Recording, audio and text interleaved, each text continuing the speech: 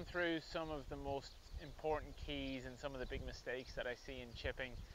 I find a lot of people make it very, very complicated when it comes to kind of teaching chipping, and it really doesn't need to be.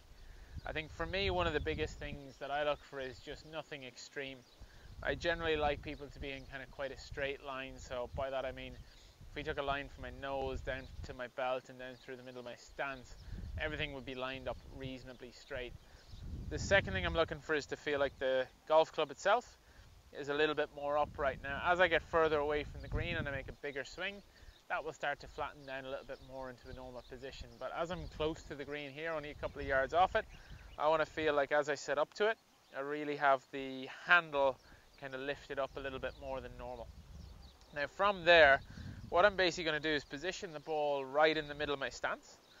I'm not going to favor either foot to begin in terms of setup. I want to kind of keep it quite 50-50 and I want to keep my arms quite relaxed. Again, a lot of people really favor a very stiff, very rigid setup when it comes to chipping and I want to keep the arms and especially the elbows kind of close to my body and relaxed.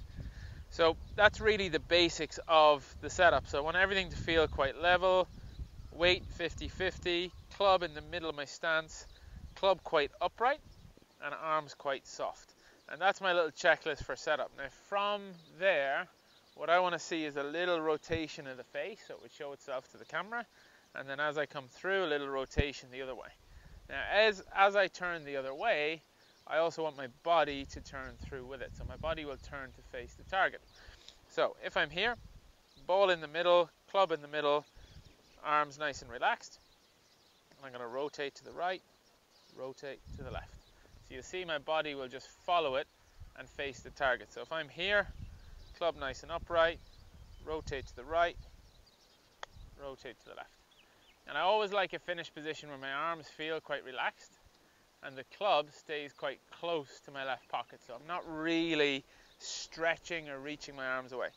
So again, if I'm here, club nice and upright, arms nice and relaxed, rotate to the right, rotate to the left. And again, you can see that finished position where I'm looking straight down the target my arms are soft and the club is facing the finish. And they're the basic keys that I want to do with your stroke to just begin in terms of becoming a better chipper.